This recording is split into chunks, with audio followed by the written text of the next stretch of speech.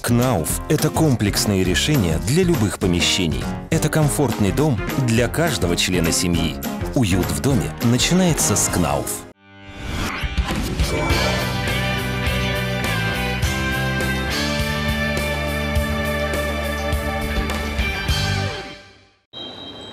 Петербургский политех на своей площадке в двух матчах принимал соперников из мини-футбольного клуба «Ухта». Как часто бывает в поединках соседей по турнирной таблице, игры получились зрелищными.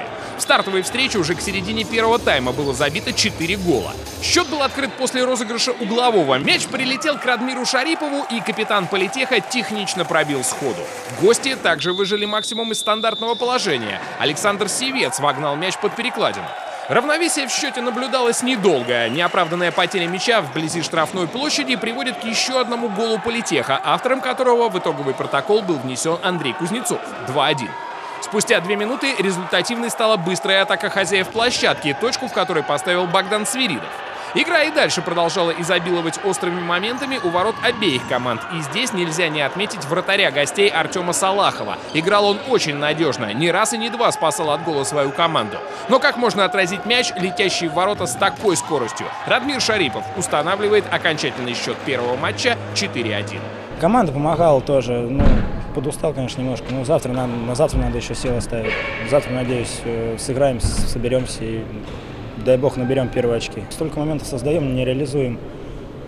Вроде играли нормально, хорошо, все получалось. Ну, еще раз, все зависит от реализации. Реализуем мы всем ну, хоть парочку моментов, игра бы уже по-другому пошла. Повторной встрече команды не проявили столь высокую результативность, как в первой, хотя опасные моменты создавались с завидной регулярностью. Ухта могла открыть счет, когда Ян Кузинок обрезал неточным пасом своих партнеров, но выход 2 в 1 и последовавший за ним дальний удар отразил вратарь.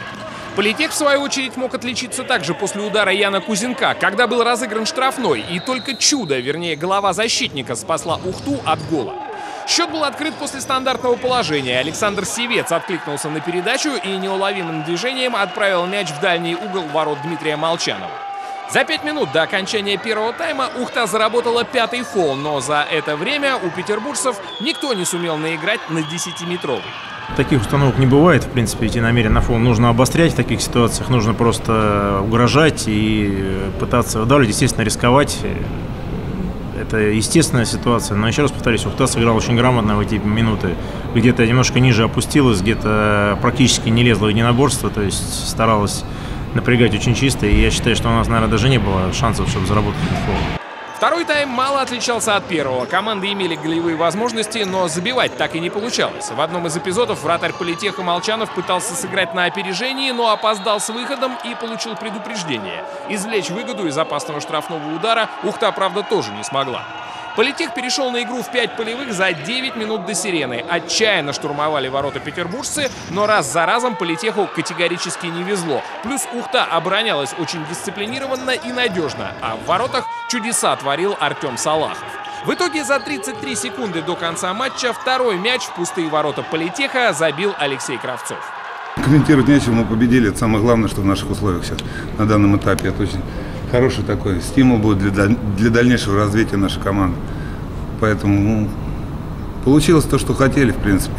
Конечно, больно за то, что растратили столько моментов, но и соперник тоже нас иногда прощал. Именно Радмир Шарипов стал автором единственного гола в составе политеха в этом матче. Но мяч этот был забит за 5 секунд до конца игры, и времени на то, чтобы спастись, у петербуржцев уже физически не оставалось. Столько моментов создали и забили всего один гол, причем в пятером это... Я не знаю, как это назвать. У нас просто моментов миллион, а голов ноль. Ну, отсюда и результат. Никита Гулин, Денис Смирнов, Андрей Романов специально для Ассоциации мини-футбола России.